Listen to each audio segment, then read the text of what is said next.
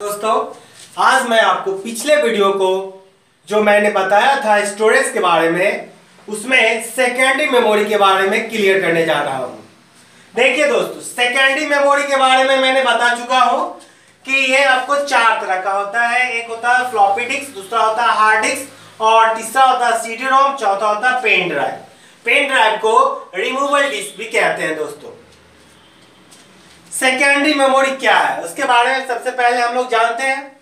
Secondary storage device are use to permanent store the data secondary storage device जो है, इसका उपयोग data को परमानेंट स्टोर करने के लिए करते हैं दोस्तों। जैसे कि आप कुछ बना रहे हैं, मान लीजिए आप बायोडाटा बना रहे हैं रिज्यूम बना रहे हैं, कुछ भी बना रहे हैं, अगर आपने उसको सेव नहीं किया तो तो रह जाएगा आपको प्राइमरी मेमोरी में। और जब ये आप उसे सेव करते हैं, वो तुरंत जाके सेकेंडरी मेमोरी में सेव हो जाता है। अब उसको आप सेकेंडरी मेमोरी में आप फ्लॉपी डिस्क में सेव कर ले हार्ड डिस्क में सेव कर ले सीडी रॉम में सेव कर ले, या फिर पेन ड्राइव में सेव कर ले दोस्तों। अब है आपका कि it divided on four part इसको जो है, चार भागों में बांटा गया है। कौन कौन पहला आपका फ्लॉपी डिस्क है। फ्लॉपी डिस्क क्या है?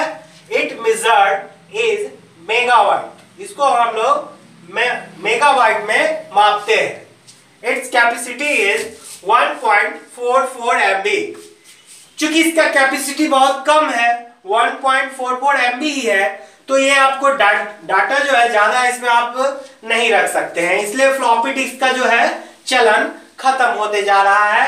संभव तो अब साफ़ खत्म ही हो गया है फ्लॉपी डिस्क नेक्स्ट है आपका हार्ड डिस्क हार्ड डिस्क क्या कह रहा है?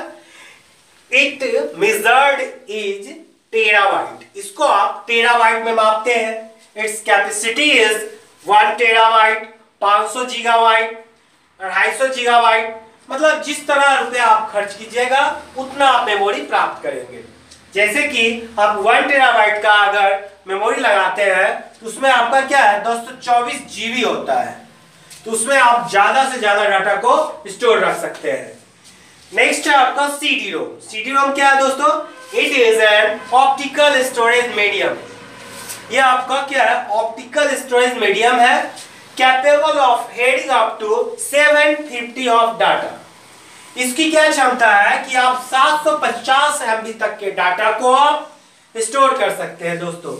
नेक्स्ट मैंने रिमूवल रिमूवल डिस्क के बारे में लिखा है, बताया हूँ।